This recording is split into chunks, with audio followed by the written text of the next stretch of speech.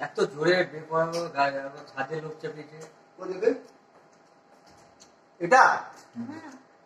আরে ভালো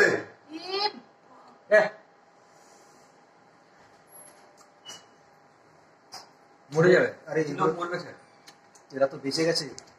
এটা স্যার বেসিক্যালি এরা ও দাও সবাইকে দাও। আর আর- আর এখন কোথায় আছে? রনিকে দাও। সামনে গাড়ি নিয়েছো?